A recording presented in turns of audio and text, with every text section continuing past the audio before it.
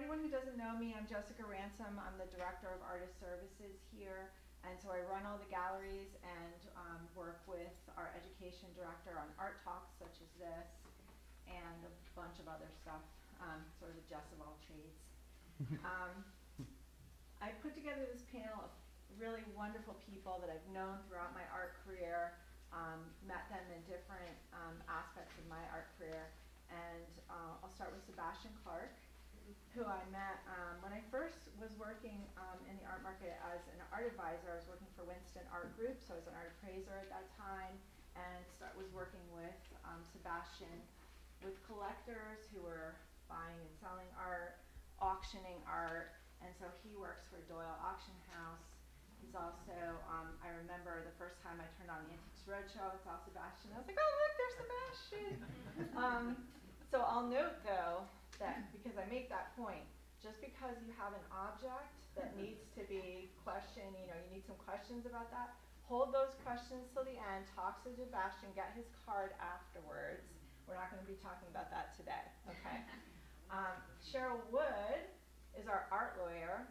I met Sheryl when I moved here to Palm Beach. I was working as an art appraiser at that time, but Sheryl's also very, very active in the community, and I think we actually met through Impact the Palm Beaches, maybe, where I was, um, uh, for a while, president of that philanthropic organization, and she's super, super involved in the community. So um, Sheryl's got a very long career in the art world, not only as an art lawyer, she um, was general counsel in several different um, law firms, correct? Government entities, the Government South Florida Water. Management District Okay. Palm Beach County School District, I was their general counsel, and then I'm in private practice now. Um, and then Catherine McCulloch was my partner in crime when I was managing um, the Culture Lab at City Place, when City Place was City Place, was a contemporary art installation, and Catherine and I worked together on that. Um, it was a one-year project that um, Related Company did at City Place in the old Macy's building. I don't know if anybody had the opportunity to see that. And Catherine um, runs her own art advisory here in Palm Beach and sells worldwide to, to private collectors, but also um, commercial or Private commercial. corporate. Okay. And Melissa Delprete owns and runs Mountain Space Gallery, which if you cross the street and go down about a block, you're going to find her gallery along with Kenny Schofield, who's here today, um, her gallery director. We're really, really lucky to have a local art gallery that supports both local and national and internationally known artists, emerging and established artists. Um, they work super closely with us, um, helping artists in the community, and they've been just a real joy to have around as fellow art geeks. So welcome to the whole panel. Um, that was my brief introduction. I'm going to let them um, go. We'll start with Melissa. Tell us one thing, and then go down the line about you. Why you love art, why you've chosen to work in the field, or what you find exciting about the art market. Um, just one. You get one. Okay. Yeah, just one. All right. Um, well, I guess I'll start with why I love art. Um, when I was when I was a kid, the art room was my sacred space, and it became my my practice. So that's how I got into art was through my own art making practice, and it's just been o- an avenue for me to see myself and to grow and to connect with people in the community. Um, I'm not the most communicative person. I think I speak with my art, so being able to have art to connect to other people is just, it's amazing for me. Thank you. Yeah. Yeah. Uh, why I work in this field. Um, I can't, I think it's best to describe how I got started. So I studied art history when I was at university, and then I worked at um, various art institutions in New York uh, for a few years before I had the opportunity to move to Paris and to study studio painting. Whilst there, I met an artist, a photographer called Jeffrey Blondes, and he actually showed me a painting he had done, a beautiful landscape painting, oil on wood, and it was of a cow in a field. And I thought, wow, this is really stunning. And I said, you know, paint about, you know, a handful more of those for me, and I think I can sell those for you. And he agreed, and he did, and I did, and we sold out the show. And subsequently, I organized uh, further shows for emerging artists. And so what started in this um, tiny apartment on the sixth floor walk up in Paris in, with one show, turned into a thirty-year-plus career in uh, art curating and consulting. I work with private clients, corporate clients, primary market, secondary market. I love, I love the creative process. I love working with artists and learn, learning why they do what they do. I love being around collectors and art enthusiasts. And I can uh, safely say that I am as excited today uh, when I find a great piece of art or meet a promising artist as I was all those years ago when I first saw that painting of the cow in the field. And that is why I continue to do what I do. Um, I think for me, it, it, art, and I'm not the talented one, I'm just the one, I mean, I do art for therapeutic reasons, but no one would want it. But I think from growing up as a kid, it evokes feelings, you know, when you're in your art classes, and thank goodness for the school system. Um, they, you know, have art teachers, and let's hope we keep that and, and increase it, because it's certainly diminished. Um, but you, you learn about things and you feel things and you see how history was before they had cameras. Um, people would paint things and you go, oh, that's the way they did things in the olden days. And you, it was just very interesting to me. And then as you grow up and the schools again continue to bring you to performing arts and, and while I was in New York for a while as a kid, you know, the nuns would bring us into Radio City and, you know, we'd see, you know, that glory of all that. And when I was in junior college here, they brought me to the Flagler Museum, and thank goodness for all those things, because then you feel it. And I got into um, the, the legal field, and I, I was practicing, you know, I've been practicing over 30 years, and for most of my practice, while I was in government practice, it didn't conflict with what I did, so I represented art organizations pro bono, and I, I've done a lot of them around here. Um, in this one, I started with, I think Will Ray, Ray was the director at the time, it was a long time ago. So that's, that's why I like art, and I continue to do it. Um, I decided I would, uh, full-time art law when I retired from the, uh, government practice. Um, there wasn't enough of it, because my husband passed away, and it was just like, I need to do other stuff, so I'm doing water law too, but my specialty is contracts and intellectual property, and so. Um, what I love about the art market and my job, no two days in the auction business are the same. Um, have the highest expectations and walk into the finest home and it is the most miserable group of property you've ever experienced. or you can seriously consider not getting out of the car because you're terrified might what, what might happen and make the greatest discovery of your career. One of the other things I really love about the art market, it's really confusing to everybody. It's a huge mystery. And I really enjoy helping people figure it out and navigate their way through. Offering guidance and so much of what we do, um, whether it's the, the pleasure I have working on Antiques Roadshow where we're volunteers, we don't get paid to do that, or just the number of emails or inquiries or questions I get about the art market. It's just helping people understand something which to me, I know like the back of my hand, just the auction portion, but to other people it's a huge mystery. So I really love that and every day being completely different.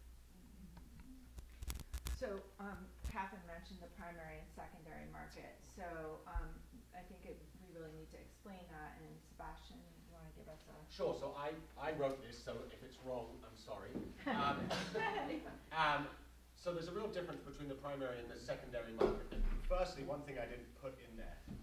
So the art market is the largest unregulated market in the world, and it's approximately $64 billion in registered sales globally. And there's no uh, restrictions, there's no uh, requirements, so it can be very, very difficult and challenging to, to, to navigate. So the primary market, which also we like to say is retail, is for living art. One term for the primary market is living artists in the contemporary art market. The term is often used for the first sale of an artist's work. Let's say hung on a wall, painted, sold out to the gallery, either through a gallery or an artist studio. In the broader art market, the phrase is commonly used to define a retail buying experience, such as a gallery, show, art fair, or a transaction with a dealer. Prices in the primary market closely mirror insurance values, also known as retail replacement. So that's a high value. And I like to, the easiest way for me to explain it is, so my wife is a jewelry specialist, is a Rolex. If you lose your Rolex and it is insured, and that you have insurance and in Chubb Insurance says, okay, go ahead and just go, go buy a new one. You walk into your local Rolex dealer, you find that model, you don't negotiate, you pay their asking price, which is a very, very high price. So that's primary market value. Secondary market um, is um, resale, which is uh, auction houses represent buyers and sellers and charge a commission to each party. These sales are transparent for the most part because they're online and in the public domain. And the definition of secondary market is between a willing and unpressured buyer and a willing and unpressured seller. So that very same Rolex that's worth $15,000 retail on the secondary market may only be worth three or four thousand dollars mm-hmm. because they're two different arenas and price points. So it's really important to understand that when you're considering acquiring and selling your collections, where you're going to sell them and what is the price point and market that you're working in. So does anyone have any questions around that before we move on, or is that, Yes, So when, how do you qualify private sales by auction houses? so These are private not- sales, I'm sorry, these are not transparent. they're, you're correct, they're not transparent, frustratingly so, because in theory, the, the definition of the private sale being private, you're gonna be pushing towards the higher end of the market value. You're gonna be closer to primary market value. Because the idea of a private sale is it's exclusive and it's before something comes up for sale. Um, for instance, we recently sold a painting, the auction estimate was fifty to seventy thousand dollars, and a buyer said, I have to have that. And the transaction was above the high estimate, because that was the motivation for the seller, was I'm going to do better than I might do at auction and sell it. Um, and then the buyer is stopping it from coming to public auction. So it's a, it's a private sale which floats towards the primary market price, and that's a great question. Yes? So you said that the primary price would be higher Yeah. than the expected secondary, and I think of it as the other way around. no. Well, no, because primary is let's say you let's say you're a, let's say you're a dealer and you buy a painting at auction for ten thousand dollars and you have a gallery space and you have staff and you have insurance and you've got overheads. If you buy that painting for ten thousand dollars on the secondary market, you're going to price it in your star, store for probably closer to thirty thousand to make your profit and cover your expenses. So that's sort of a good way to look at it. Okay, I misunderstood the way you were presenting it. Okay, so that, that yes. Um, you might also want to mention that if there is private sales at an auction house, the buyer does not have to pay a buyer's premium, which they normally would do at auction. That is, cor- that is correct, that's traditionally baked into the price. So it's, while it's, can- candidly, as I once heard a colleague say to a client on the telephone, we are a for-profit business. Hmm. And so we have to, an auction house or a dealer or anybody selling has to factor in what they make, and for an auction house, it's a commission, and we'll bake it into a private sale. But private sales, while they occupy a huge portion numerically of the art market, they actually occupy the smallest portion of actual transactions. So Sotheby's may say, we did seven billion dollars last year in sales, and um, of that, 1 billion was in private sales. So it, it's only one seventh of their, their, their business because it's, a lot of it is auction. Okay, so moving on with the secondary market, if we're dealing with the secondary mar- market, we wanna talk about buying and selling strategies Yes. you're preparing to sell on the secondary Sure, again, I wrote this, so I'm sure there's bits I missed. Um, but it's all about questions. When you're buying, ask questions. Condition, provenance, size. I know that's a silly thing, but the, the number of clients we've had purchase things and then they don't, they don't fit in the building. Um, but doing your homework, um, make sure the source you're buying from is reputable. Now with the internet, I mean, start, it sounds so silly, just start with Google. You'll get so much information. Research comparable prices, uh, consider what your additional expenses might be, and understand if you're buying from a platform such as First Dibs, it's highly curated and you pay a huge premium for that. Whereas buying at auction, there are some inherent risks with that, but there's the opportunity to buy something at a lesser price. But then you'd have to consider buyer's premium, transportation, all those things. And the same thing is with selling as well, is asking questions, target your potential seller or auction house, understand what fees you will be paying, um, and don't be afraid to negotiate, and make sure you review the consignment agreement. Um, and also just doing your homework, it's almost the same thing. Source, are they reputable? Comparable results, what other expenses? I mean, this is where an art advisor comes in, and their job is to help you navigate this. And while there may be a fee involved working for them, in theory, it is going to achieve a much higher result for that piece or that collection. So, speaking of art advisors, what do you consider when defining a collection? Okay, so I'll speak to you about defining a collection and also why you use an art uh, advisor. So um, the images you're going to be seeing are all um, images from projects that we've worked on in the past uh, year, year and a half uh, here locally. I worked with my colleague Joe Met, who's in the audience today, and we sourced locally. So we used local artists and we sourced from, sourced from local galleries. Uh, all right, defining a collection. Trust your instinct, have goals, focus, and do your research. First, you have to think about a medium. Are you collecting paintings, sculpture, photography, prints, ceramics, textiles? There's, there's a world of art out there, so maybe narrow in on what you'd like to uh, concentrate on. Is there a theme? Could be region, style, artist, movement, period, concepts, philosophies, or characteristics. Is your collection going to have a specific focus, or is it going to be a more general, comprehensive collection? You can concentrate on iconic works from one artist, or iconic works, works from a period. Size. Yes, size is important. Um, are you going to be concentrating on smaller works, larger works, orientation of the work, the number or the number of pieces in your overall collection. So size of the work or size of the collection. And again, yes, you've got to make sure the size fits the space where you want the work to go. Budget, uh, try to stick to a budget if you can.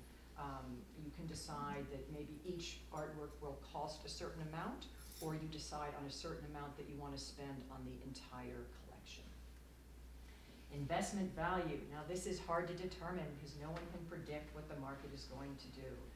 We always advise our clients, buy what you like, buy what you love and you want to live with.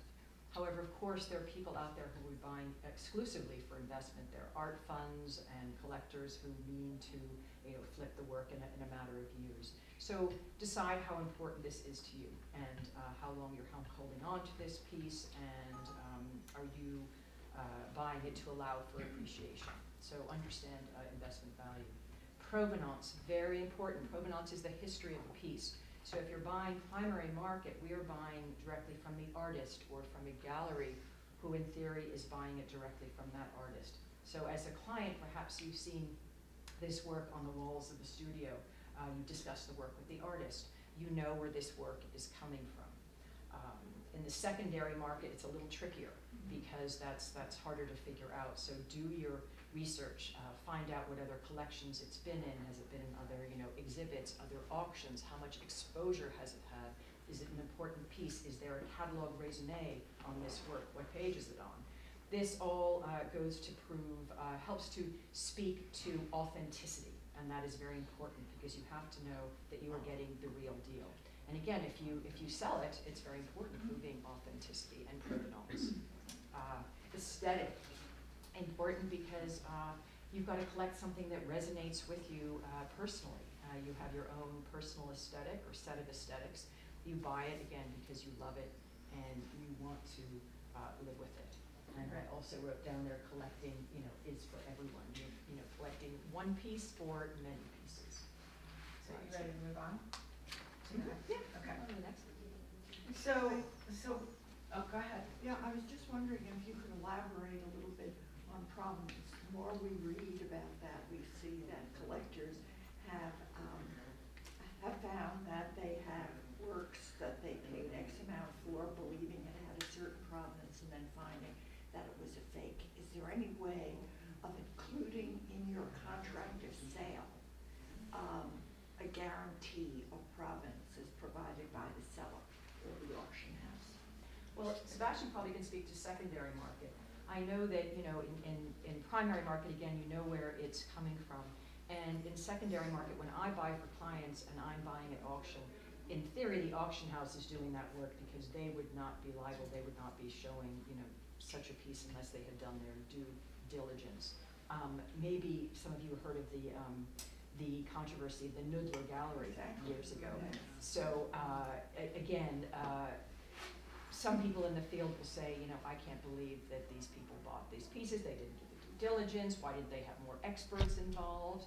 And I think since that moment, uh, people are much more conscious of looking into provenance and getting even be it certificates of authenticity and really proven authenticity because everyone is very wary of buying fakes. So again, it goes into research and due diligence. And the art consultant should be able to do that for you. And also when you're working with an auction house, they should be able to do that as well. You assume that they have already done that before even they would even consider bringing it to the block. And the only thing I would add to that is I believe there's a five-year statute of limitations.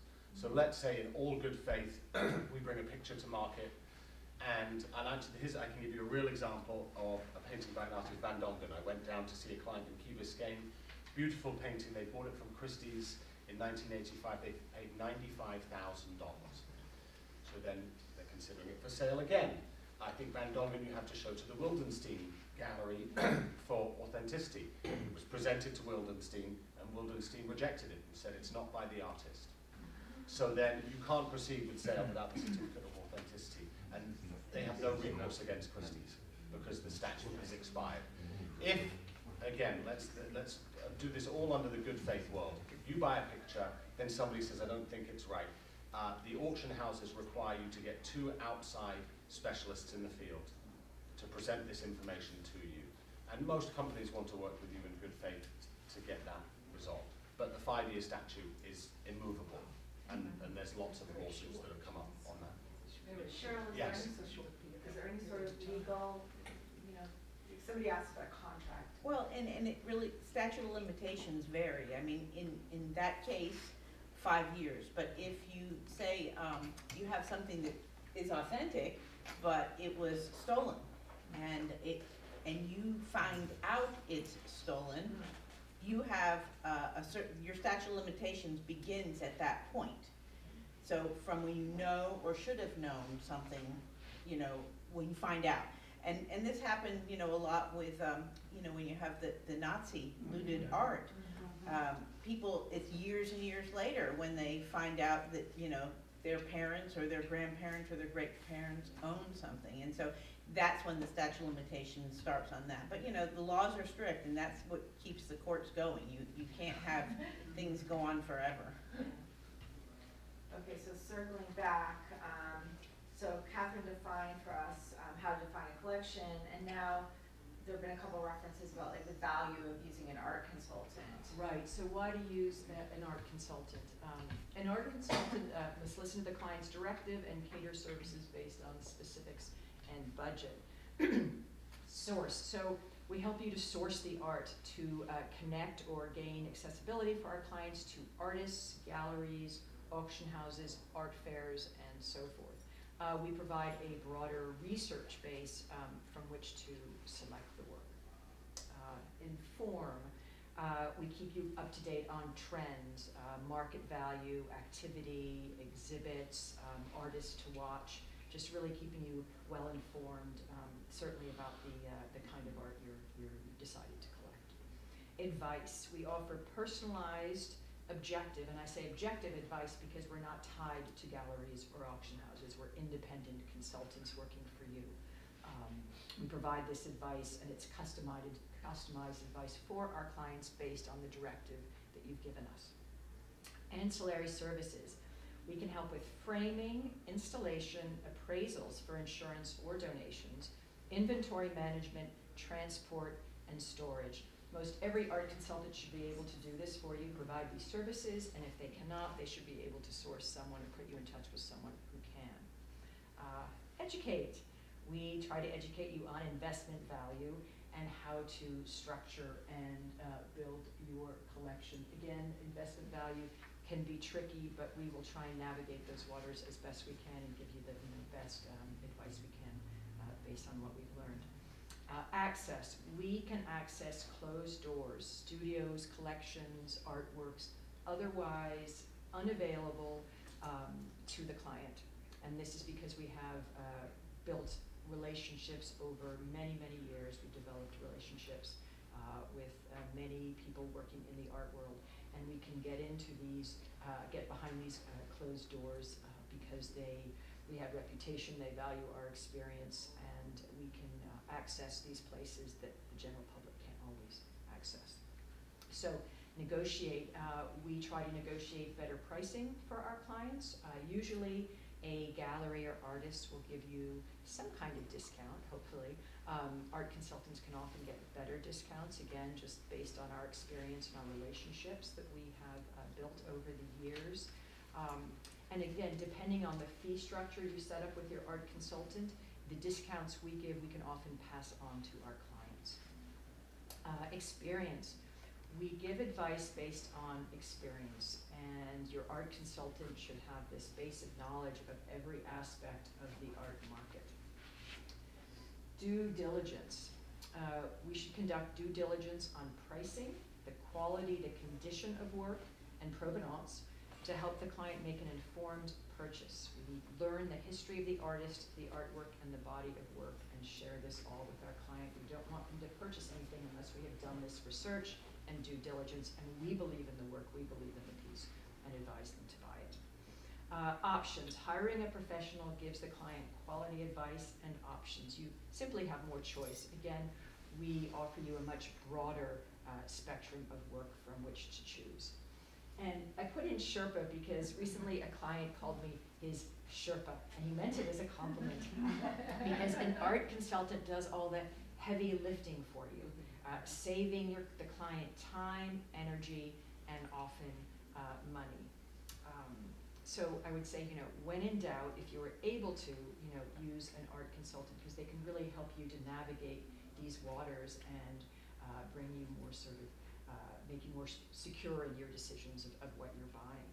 Um, I wanted just to go through the slides too because there's some more images. Oh, the one before it, sorry, the one right before. Um, this is a Renee uh, Phillips, and uh, she's a, she's a wonderful local artist. She's also showing the in the um, in the exhibit going on right now. And the slide actually before that, uh, there we go. These are two pieces by uh, Stephen Cabral, uh, sourced through Mountain Space. Thank you, Melissa. And another Renee Phillips piece uh, in that hallway there. Forward. If we continue, Yeah. and then one more. Right, so this is um, Magnus Sodamin piece in a master bedroom and a project we did. And a very, very large Alex Nunez underneath the stairwell. Talking about size, we were a little worried that might not fit, and it just fit, and it was absolutely perfect. So we got it through the doors and everything, so success. Right, so um, the Nina Bleckman piece in a drawing room, and then this I wanted to speak about because it's a commission. It's by Jill Hotchkiss, another wonderful local artist who's shown here at the Cultural Council. Um, a client of ours saw her work, uh, a work similar to this, and loved it, so we brought her to the studio. She decided upon a commission, and she chose the colors that she wanted, and then we figured out the size that would be appropriate for this space, because she knew exactly where she wanted to put it. So again, we often advise on commissions because it's a wonderful way of collaborating with an artist and also having exactly the piece you know that you want, and it's customized uh, for you. So it's really a lovely way of going forward. Right, so this project, uh, the, uh, the client likes Mr. Brainwash, a, a pop artist, another Renee Phillips, which is similar to some of the ones she's showing in, the- in the gallery here. Um, and this hallway we have, there's a Marsango painting, um, you can see it's, um, the sculpture Oi by Deborah Pass, quite well known. And at the far wall, there's a uh, lovely big Ben Georgia painting. Uh, this client bought a few others of Ben Georgia actually as well. And then there are two photographs, again, commissioned pieces by Tony Aruza, another lovely, wonderful local photographer. And beneath that, two glass pieces sourced through uh, local gallery Habitat uh, by Wesley Rasco.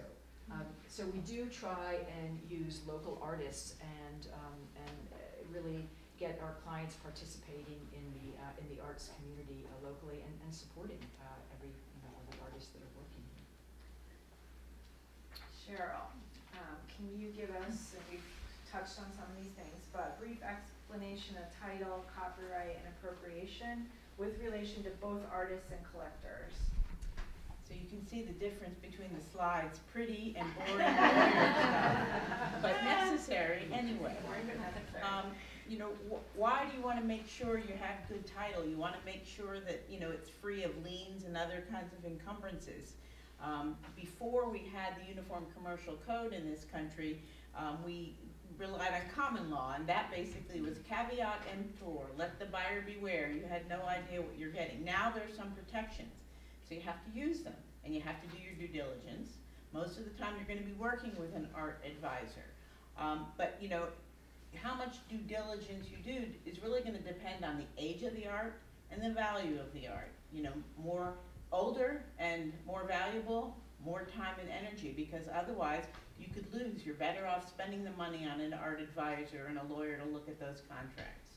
Um, this happens to be in Florida. The Uniform Commercial Code is, is common all over the United States. There's little nuances depending on, you know, the state and, you know, the years or, but it's pretty uniform. That's why they call it that. The ABA developed it. And so you can look on a website, it's www.floridaucc.com, and you, for two, two reasons. If you're, an- if you're an artist and you're selling something, and people can't pay the amount you want, so you're gonna finance it for them, you're gonna wanna make sure that you, um, can protect your security interest in that art, and you're gonna fill this out. Um, the debtor is the buyer, you're the secured party, and you file this with the state. And then anyone, if that buyer decides to sell it, is gonna understand that you're still owed money on that, and there's a lien on that, just like you would have a lien on a house.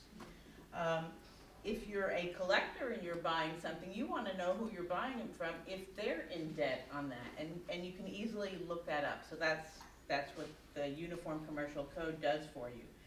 Um, it used to be you could buy title insurance for art, but in the last couple of years, like from companies like ARIS and Chubb, they stopped writing it. So it's important, you know, to do your due diligence, at least start here. If there's something funny, you definitely need an art advisor to, to look at it and do a little more research into the provenance, into the history. Um, you wanna make sure that there's, it, the title's clear, that it's authentic, and you wanna make sure it's not stolen. Uh, I represented a client who was actually the son of an artist, and, uh, the, the, it was a sculpture. It was done in the forties, donated in the fifties, stolen, uh, from the Maritime Museum in New York City in the seventies, Wow. and turned up in twenty twelve in, uh, I think it was, was it Harrison, New York, in Westchester County. And the lady was excited because she found the artist's name etched in the bottom of it. And lo and behold, she contacted the biographer, she found it on the web, and, and he said, oh, you found the lost Lipkin. She was excited until she had to talk to the son who owned the art because you can't transfer stolen art and get good title from it. It just doesn't work, so it's important. All right, the next thing we're gonna talk about is copyright. Um, the creator owns the copyright until that, until those rights are transferred. And they can be transferred in total, or they can be transferred in part. When you own the copyright, you own the right to reproduce, to display, to make adaptations, and to perform it publicly if it's visual arts. So how do you protect it? On your visual arts, you put a C on it, and you register it with the Copyright Office. If you don't do that, you still own the copyright, but if there's an enforcement issue, um, how do you prove you own it? And that's how you prove it, by registering it and putting the C on it. Registration is important, um, it's not expensive. You do them individually, or now they let you do ten at once for like eighty-five dollars. And, but you can't put them in one PDF, it has to be ten individual JPEG files, but it can be done online. And that's simple, it's something you can do yourself. One thing I wanted to touch on, and we talked about it when we were putting our program together, is a work for hire. If you're an artist and you're working for an employer, or you're working as an independent contractor, you likely don't own the copyright to that work, unless you have an agreement that says you do. So that's what's important, um, to make sure that if you're doing work, understanding that your employer probably owns it, if you want rights to that, make sure you have an agreement before anything is done, and that's whether you're an employee or an independent contractor, yes. What if you're an artist and you're, you're asking somebody to create something for you? who owns the right? Is it the person who The designed? creator. So who is it? Who's the creator? If you have the concept and you ask somebody to, to design, let's say, a logo, but you imagine the concept, Okay, so the two of you are gonna have an agreement that says that you own the copyright, and that's what makes it clear. It's when you talk about it, shake hands, and walk away, that it becomes very unclear. And so that's, anything in the state of Florida that's valued over five hundred dollars needs to be in writing to be enforceable. Okay, so now you have done everything to protect your rights. You've registered your copyright, you've, uh, you, you own it, um, so you can create adaptations or derivative works. But what about someone else? What if they take your work and does something with it? So we're gonna get to appropriation art. And this is, this is a picture, this is a case that just drove everyone crazy. It happened in the, uh, think the, the appeals court ended in twenty thirteen. It's called Cariou versus Prince. And Cariou, um, first, let, let me just get back to, um, you know, wh- when is it a violation? You know, it used to be, it was real easy. If it's commercial and someone steals your work or uses your work, there's a violation of the copyright versus a non-for-profit use where you have an educational institution or you have satire or political commentary about work, you know, that was considered transformative enough and it wasn't a violation until this case, because you had different interpretations going up through the courts. And Patrick Cariou was a photographer, and he worked in the hills of Jamaica over a six-year period to gain the Rastafarians' trust. Um, Rastafarians, if you don't know of them, are an insular spiritual group, um, and they stay apart from mainstream society. So he does a book, it has a hundred strikingly original black and white photographs in it, but it wasn't commercially successful. He then was invited to do an exhibition of his works and sell the books at a New York City gallery. Around the same time, um, Larry Gagosian, who's an international gallerist, announced a new Richard Prince exhibition in New York. Now, Richard Prince, he's a celebrated and a successful appropriation artist. He was inspired by Cariou's book, and he imagined a make-believe post-apocalyptic apo, apo, Apocalyptic. apocalyptic enclave um, in which bands and music are the only things to survive. So he used Cariou's images, along with photos of his friends in the nude, to create a series of 29 paintings entitled The Canal Zone, 28 of which had Cariou images out of his 29. The lower court ruled in favor of Cariou. On appeal, though, the ruling was overturned. That was in, in 2013. And, and I, I was attending school in New York at the time, and I wrote a paper because I was so incensed. and it's just like, how can they do that? But here's what the court found. The law does not require that a work comment on the original or its author to be considered transformative. So that's the law changing right there. To qualify, the new, new work must generally must alter the original with new expression, meaning, or message. The court found that in looking at them side by side, so you have the original here, and then here's what Prince did. Um, a reasonable person would conclude they have different character, a fundamentally different aesthetic. As to the commerciality, the appeals court found that the more transformative a work, the less will be the significance of the other features like commercialism. So Prince prevailed, and he and the Gagosian Gallery sold eight of the Canal Zone paintings for $10.5 million. Seven others were exchanged for art with a value of six to eight million dollars. And I checked on Amazon, and today you can buy Yes Rasta, which was Cariou's book, for fifty-two dollars and forty-seven cents in hardcover. And then there's a- another volume of Prince's Canal Zone paintings um, with the the court did a complete illustrated index, and that can be found for five dollars and sixty-five cents. So, you know, it's just you just go. Did Prince give Cariou any money? No, yeah, no, Yeah. because when when it when he won on appeal, he didn't have to. yeah. So it was it was to me it was just a sad state of affairs. I just didn't like it at all. No one, no one, um, challenge that ruling? The appeal never went any further. That was the Second Circuit, New York. So the only other place you could go is to the United States Supreme Court. And it wasn't, you know, Cariou probably couldn't afford it. It's very expensive to go to the United States Supreme Court. I've only been there once. Um, and the last thing I want to talk about, because we've got a lot of it going on now, is computer-generated art, um, which cannot be cop- copyrighted.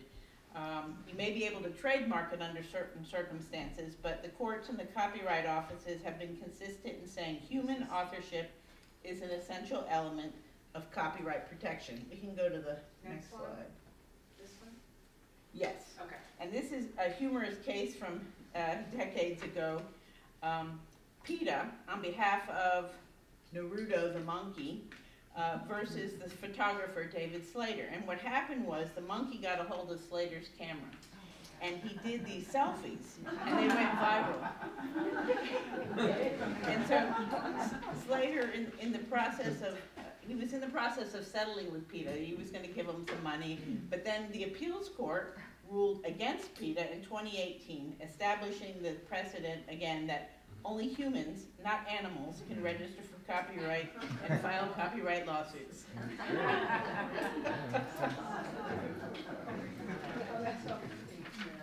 Those, those, those were fun slides. Yeah. Yeah. Okay, so moving right along, we're, we're gonna, we've got a lot more to talk about. So, um, why is it important, if you're creating an art collection, why is it important to see a lot of art? Melissa, can you take us there? Yeah, um, well, when you're talking about collecting, um, basically, collecting is, is a creative expression in itself. So, the art is, you know, being made in this creative way, and then essentially the best collectors are creative, so they're creating a vision with their collection. It's not just for, um, I guess, monetary value. Is that the right word? Yes. So, um, when you're exposing yourself to the art that's in front of you, you're basically using your art muscles, which are your eyes, your gut, um, and, you know, obviously your brain, because you're working with people, like these smart people up here, hopefully, and they're helping you have an informed decision, or you're doing the research on your own. Um, so, yeah, exposing yourself to art is an extremely important muscle to flex, and you can do that by exploring all the avenues in your community, which I guess you're already doing right now by coming to this panel, is, you know, you're going to your museums, you're coming to events like this, galleries, um, what else do we got here? Open studios, you got Instagram, you can check out all the art holes on Instagram, um, and even websites to artists, you can reach out to them. Um, MFA shows, so you go to your local colleges and you're seeing new talent, and not just young talent, just new, and develop, people developing their practice. Um, and residency programs, there's a bunch of really amazing residency programs in South Florida, and that's an amazing space for artists as an incubator to grow as an artist and build their, to, you know, grow their, their work. And it's, I guess it's your job to kind of get out there and put yourself in front of it. Yeah. I just wanted to add one other thing, um, uh, especially in South Florida, we have the privilege and the access to go to so many different art fairs, and art fairs is a wonderful place Oh, yeah. to, to resource artists and different types of art. Yeah, I, I think art fairs are an amazing place to, um, to purchase work. Um, me personally, I, I get overstimulated fairly easily. So I don't find that going to an art fair is the best way to learn about art, but it is obviously a fabulous place to buy art, especially when you're going informed. Um, I tend to go really quick. I, I go through all the booths really quick. I kind of think about what I like, maybe go to the espresso bar and then go back to what I liked and try to take my time that way. But yeah, obviously the art fairs are incredible, especially in Miami, and mm-hmm. you are getting exposed to art galleries and artists across the world. So that's the best part about art fairs. Um, So, um, in our gallery, we have a couple NFTs for sale, and there's always, always questions about NFTs. So I asked Melissa if she would just do a little basics of NFTs today, but I wanna let you know that in May, our next art talk is all about NFTs. So this is just a little introduction, and then we're gonna have a full NFT art talk in May if you're interested, okay? Didn't somebody steal that banana? They did, didn't they? Is it stolen? Art Basel, yeah, it was stolen Oh. in Art Basel. Well, Probably that robbed is not the banana that was in Art Basel. Oh, okay. That's a digital NFT that was created in response to the duct tape banana in Art Basel two thousand nineteen. Um, but, uh, NFT is basically a non-fungible token, um, which is, uh, wait, I have notes, I gotta, I have to like, go back to my notes, but essentially, um, a non-fungible token is, it, it's a, it's a copyrighted image, and the way it's, or digital image. So it's a digital image that has been able to be copyrighted with a new technology called a blockchain. And you can buy an NFT with cryptocurrency, which is, does anyone not know what cryptocurrency is? We know what cryptocurrency is, right? It's driving us all crazy.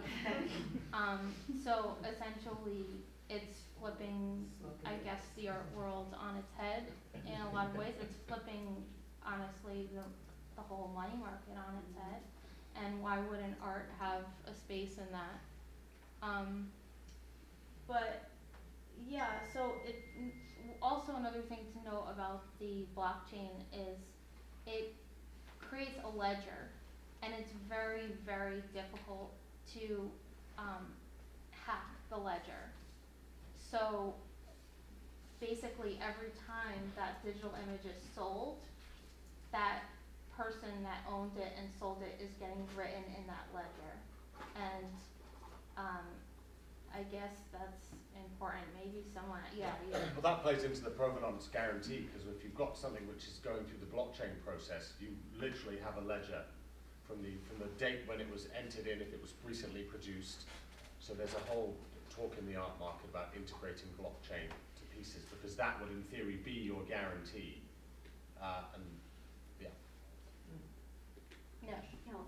So would the NFTs be viewable in your home on a screen, for example? What is the best way to, if you're gonna collect them, hmm how are you going to live with them in any way? Um, I, well, I mean, that's, that's a really interesting topic. I mean, I think a lot of people are trying to explore that, um, just having a collection on, on your phone. Right? Um, you know, having it up on your screen in your home, I'm sure is definitely something people are exploring. Also, um, yeah, I'm kind, I mean, I had something to add. the, um, the metaverse, I mean, if you, the metaverse is a, a completely digital world where you can buy real estate and you can furnish your real estate with very collectible NFTs. But you could have it both in another world Mm-hmm. and in your home. Yeah. If you wanted, and it would be, uh, uh, shown or so that you could live with it. What, what you own is the code. Yeah. Yes. You don't own Uh, the that's- picture. Yeah. yes. You own the code. So basically, but you can view the thing. You could have a screen in every house. House, Yeah. yeah. You could have your coin collection So- displayed in every house you have. So it's really about, it's really about ownership. Yes. Bottom line, it's not about the work as much as it is about a, a stream of ownership or something. Yes. Exactly. Like the image can be printed out by any one of us. Yeah. Yeah, I have, uh, two objections to cryptocurrency and NFTs. Let's hear it. First of all, they're secretive, and therefore they encourage uh, malfeasance. And secondly, they use way too much electricity Mhm. and are not sustainable. And for that reason, I, I'm, I, I'm an artist, I'm a collector, I'm also a real estate broker, but I will not accept cryptocurrency for one of my listings because I just don't believe in it. It's- I, I think we're all of, a, of the age where you want something tangible. I think i- in the younger markets, they, they seem to really thrive on this and they grew up on playing those games, you know, and, and thinking they were getting value when they were buying farm animals that really weren't there. So it's kind of like Well, the you have to emperor think of- wearing clothes. You have to think of the environmental consequences over time though, and Absolutely. with cryptocurrency, it, it's not a good picture. Yes. I think, um, this kind of thing, you miss the joy of collecting. I mean, it's what you're aiming for. If you're aiming for some kind of, um, increase in value in the atmosphere, or whatever you wanna call it, or do you wanna wake up in the morning and have your collection and walk out into your living room and grin because it's a cheery, I mean, I'm a collector, and I love my collection. Yeah. It makes me happy every morning Yeah. when I wake up. Right, that's I mean, you're, you're a different generation. It's a different perspective. I couldn't agree more. the copyright of the code or of Yeah, the uh, it's digital of the code. It's the code. So I have a question with that. So is this a reflection to some extent of the art market kind of becoming the issue around art? And its marketability or its, um, value? Ha- Is it somewhat related to that, or does it have no relationship to that, and it's just part of like what happens when things become digital? I'm dull enough to think it's a fad, but I know it's not. I'm an 18th century European furniture specialist. I get, I get it. I get, I get the idea. I love the idea. If you own a phenomenal painting, that you could then have it converted, have, have an NFT made of that object. So then, when you, let's you're lucky enough to, to summer in, in the northeast and come down in the winter, and you can have that image in, displayed in both places. But why somebody wants to pay, however the hell they want to pay for it, a terrible pixelated image of a banana and duct tape. That's not art. Well, That's not, that's just, But that's worth- transactional. Here, that's why I'm asking this question. But So the value of what's to- happened to art, okay, is, you mentioned earlier that there, it's a lot of subjective Sure, decision-making and, and, and value. right. So I'm wondering to what extent the NFT is a phenomena of the digital world becoming dominant, or the fact that, um, art has become so monetized. it's the first. It's, it's the first.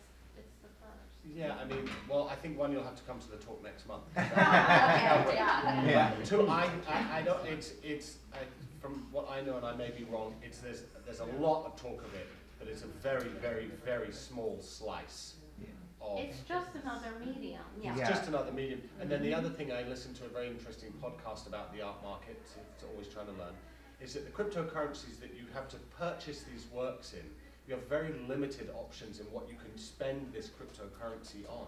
So the pricing doesn't really reflect the real world.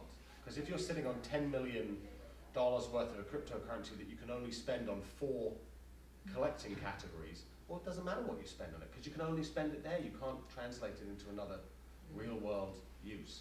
But that's for the next talk.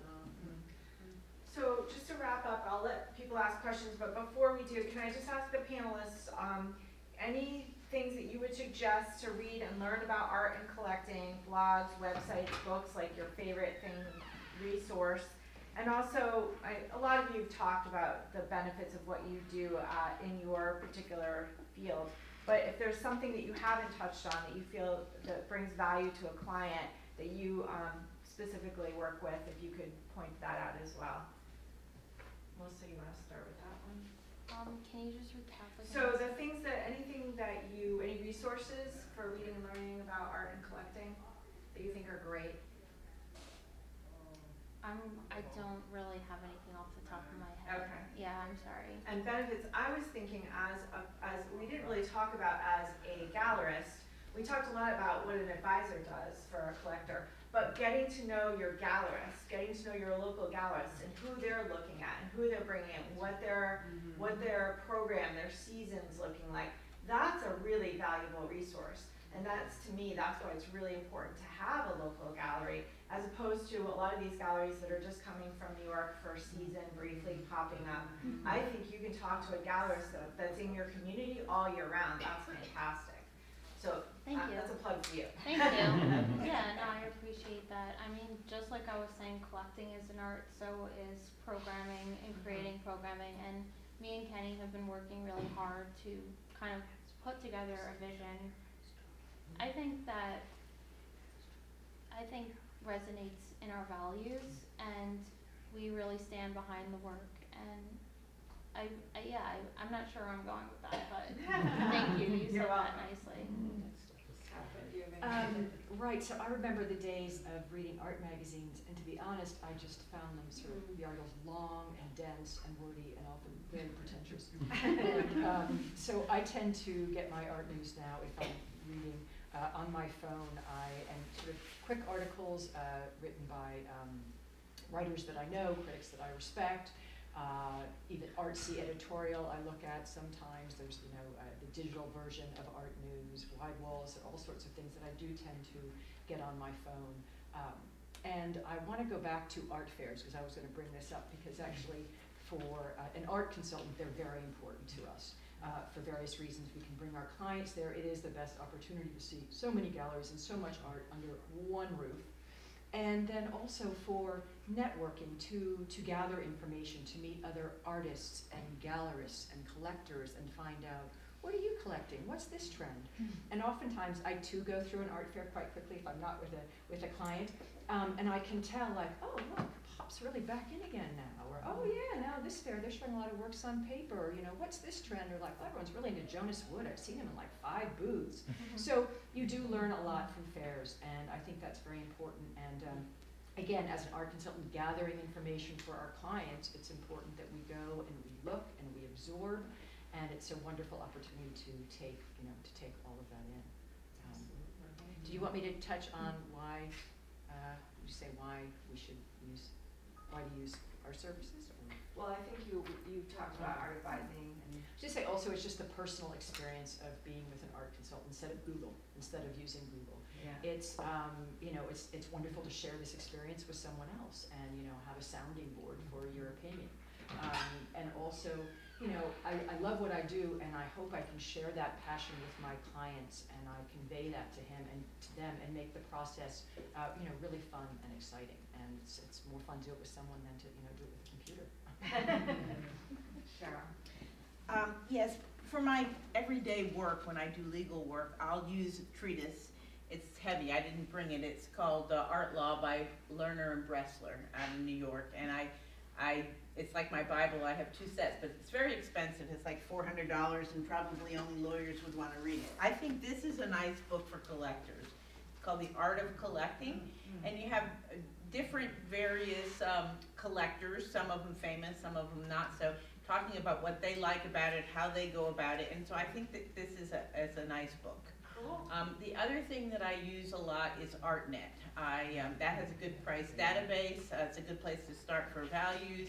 Also, they have good uh, news reporting, I get, you know, daily little notes about trends and different things happening. Sometimes I'll share those on my social media, um, so, that's what I use. Thank you. Raj? Um, I would say I'm a big fan of art fairs and auctions as well, because they're both opportunities to walk through these uh, venues and see property and get up close and personal.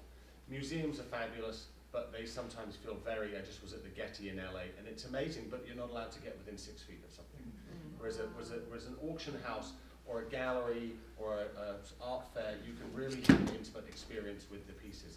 In terms of what I use for my price research, there's a website called liveauctioneers.com. And it's an aggregator where all auction, many auction houses, hundreds if not thousands, put their sales. So if you're a collector and you're looking for, again, I use the word Rolex, you put the keyword search into live auctioneers and every auction house globally that runs their sales on them puts it through there. And so I use it as a great resource for price research. And it's a really great place because you can see what people are paying real time for objects. Uh, Invaluable is another one, but that's subscription based. And then ArtNet I love as well, obviously, because that's really, that indexes the artists and does a really great job of that. Do your, your, um, Doyle has a, a place where you show your auction, upcoming auctions somewhere, right? There's a, So we have a retail, we have a storefront on Palm Beach Island, on Brazilian and South County, and at the moment, thank you, we're having a, dis- Monday through Friday, we're uh, showing highlights of the collection of Jay Kislak.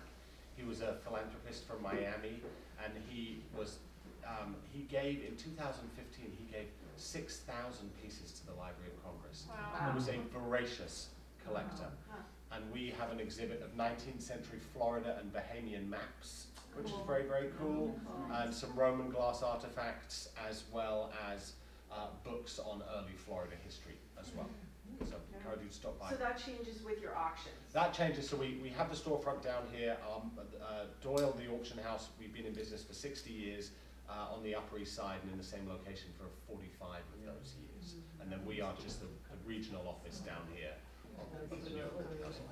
Of the New York Council. Yeah, And Jessica, you asked us to bring some cards, so I'll Oh, leave them yes. on the table if anyone is interested. Any questions, people, before we wrap up? Yeah, Yes. I was just wondering with, um, art advising, if you could give us some idea of kind of a generic fee base, how that works. I Um, realize that That's a, it's. that's a very good question, and it's, it's, it's very loose. It really I depends on the understand that. project and the scope of the project. So some art consultants will work just on an hourly fee, and others will work commercial, com- commission-based.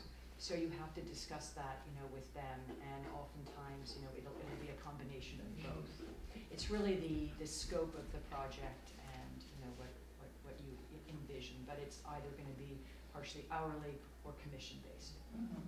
It's also, I mean, relating to just what you're, you're talking about, it's what your aim is as, as the um, collector. Are you truly a collector of a certain kind of art, or are you decorating a house? Absolutely. This was something I was gonna bring up before, because there's art consultants and there are interior decorators. And Right. they're very different, and uh, you hire an art consultant because they have the experience, the knowledge, the education, whereas, you know, an, an interior designer, uh, might, but for the most part, you know, we're, we, we work in two different wheelhouses. And so if you really want, you know, original, uh, art, unique original art, you would see an art consultant. If it's just decorative, perhaps the interior designer can help you with that. Did you have another question back there? I did, I just wanted to know, if you're a novice collector, how would I even go about determining who is a good source for an art consultant? How would I get started by finding a good one? Again, ask in your community, you know, you're here, ask Jessica, you know, ask the people you know, ask the gallerists that uh, you like, artists that you like. Do you know of art consultants, local art consultants? It's really word of mouth, and I find that I've got most of my clients through word of mouth because I work with so many artists and gallerists and, you know, auction houses know me. So it's just ask, I would say, you know, ask people that you trust in the art world, hey, do you know about, you know, a good art consultant? Um, perhaps even one that specializes in this, you know, what if you want someone to help you with, you know, a collection of certain kinds of miniatures and like, oh, I know someone that does that. So again, it's, it's asking around and start with, you know, these, these, um, you know, community institutions and resources because, um, uh, Jessica very kindly has, um, you know, referred both clients and artists to me. Yes, thank you. Would you mind to go back to the second slide? I just wanna grab a picture of it. The It's the one right after the, I think the first slide where the definition was of primary and secondary. primary and secondary, So next, the one next after my one. You don't. it's pretty straightforward. Anyone else have questions? Thank you so much. I so appreciate it.